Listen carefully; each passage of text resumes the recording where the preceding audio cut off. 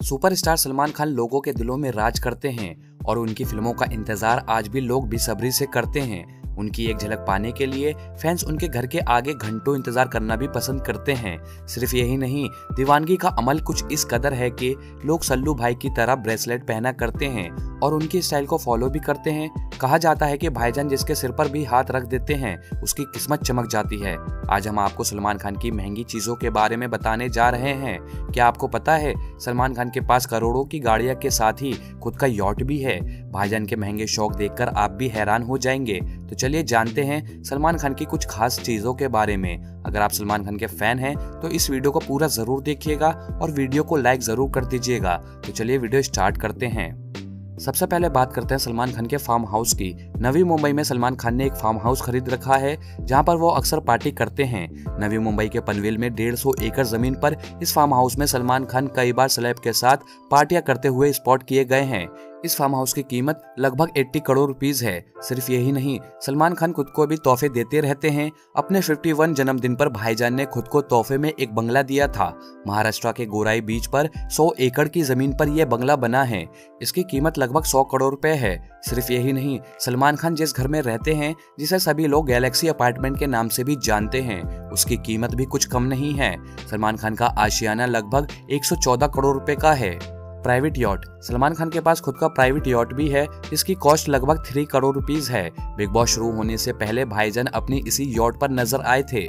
दोस्तों, कई बार social media पर आपने सलमान खान को साइकिल चलाते हुए देखा होगा। सलमान खान सुबह सुबह साइकिल से ही शहर पर निकलते हैं और उन्हें साइकिल का भी शौक है।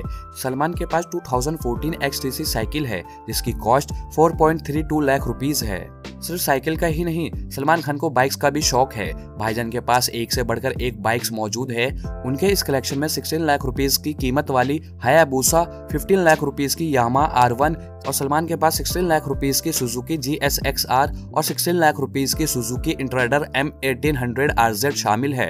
ये तो रही सलमान खान की बाइक्स की जानकारी। अब आते हैं उनकी कार पर। सलमान खान को कारों का भी शौक है। उनके कलेक्शन में एक से बढ़कर एक महँगी कारें मौजूद है, जिसमें पहले नंबर पर आती है Mercedes Benz G L class जिसकी कॉस्ट है 80 lakh rupees number two Mercedes Benz S class जिसकी कॉस्ट है 82 lakh rupees number three Audi A eight L जिसकी कॉस्ट है 1.13 crore rupees number four BMW X six जिसकी cost है 1.1 crore rupees number five Toyota Land Cruiser जिसकी cost है 1.29 crore rupees number six Audi R S seven जिसकी cost है 1.4 crore rupees number seven Range Rover जिसकी cost है two crore rupees number eight Audi R eight जिसकी cost है 2.31 crore rupees number nine Lexus L X four seventy जिसकी cost है 2.32 crore rupees being human ये बात तो आप जानते ही होंगे कि सलमान खान के पास बींग हुमैन नाम का ब्रांड है, जो कपड़ों, घड़ियों और ज्वेलरी का साथ ही कई चीज़ें बेचती है। और इनके बींग हुमैन ब्रांड की वैल्यू 235 करोड़ रुपीज़ है। प्रोडक्शन हाउस 2011 में सलमान खान ने सलमान खान फिल्म्स नाम का एक प्रोडक्शन हाउस ओपन किया था। और हर साल इसी प्रोडक्शन हाउस से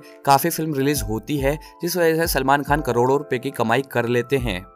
बात करें सलमान खान के इनकम के बारे में तो दोस्तों सलमान खान एक फ़िल्म के लिए 70 से 75 करोड़ रुपीस तक चार्ज करते हैं और फ़िल्म के प्रॉफिट में से भी शेयर लेते हैं और एक ब्रांड को इंडोर्स करने के लिए 6 करोड़ रुपीस लेते हैं और साथ ही साथ टेलीविज़न में एक एपिसोड के लिए 6 से 8 करोड़ रुपीज़ तक चार्ज करते हैं और अपने प्रोडक्शन हाउस से भी सलमान खान पैसे कमाते हैं। कुल मिलाकर सलमान खान की total income yearly 220 crore rupees plus हो जाती है। और बात करें सलमान खान के नेटवर्थ के बारे में तो इनके नेटवर्थ 3000 करोड़ रुपीस है।